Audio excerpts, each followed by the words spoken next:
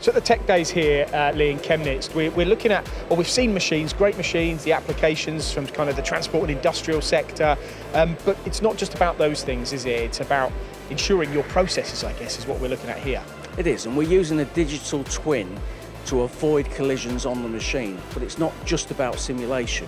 Okay, so how does it work? What's different, and why is this better maybe than other solutions available? Well, there's, there's lots of simulators on the market, and people just go and buy a simulator and they think, great, everything's going to work. It's not so simple. You need a true model of your machine, you need the right post processor, and you need to then send that data to your simulator. So your simulator's really showing you exactly what your machine's doing.